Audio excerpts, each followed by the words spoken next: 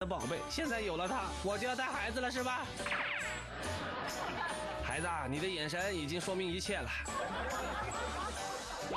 看到别人结婚生子，我就羡慕。像当初我的爱情和这两个电脑屏幕一样，好像爱过，但就是没有在一起。官人娘子，分离我们的不是法海，而是电脑屏幕隔太远。单身的人也要自己想办法找乐子。虽然我不能和别人手牵手，但至少我能自己脚牵脚。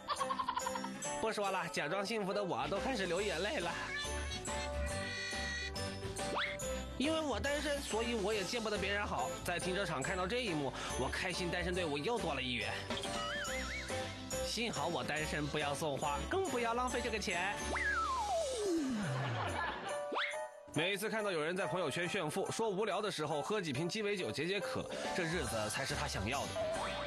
不就是几瓶廉价鸡尾酒吗？有什么好炫耀的？逼我去厨房掏出调料，我加的这么大一瓶，我炫耀过吗？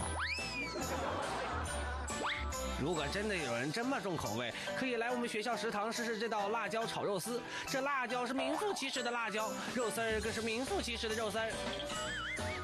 初时我眼神不太好，每次都找不到丝儿。走进社会后，我发现自己进了一家了不起的公司。看看门口挂的防盗锁就知道，里面一定藏了惊世骇俗的宝贝。哦，忘了，我在一家防盗锁公司上班。我曾经的梦想是举行世界巡演，现在这辆摩托车能实现这个愿望了。骑到哪里，鼓就敲到哪里。我觉得你还是安心骑车吧，别想着打鼓的事儿了。坐车一定要注意安全，这位姑娘显然没有这个意识。现在可不是站得高看得远的时候，马上就要绿灯了，我命令你给我冲！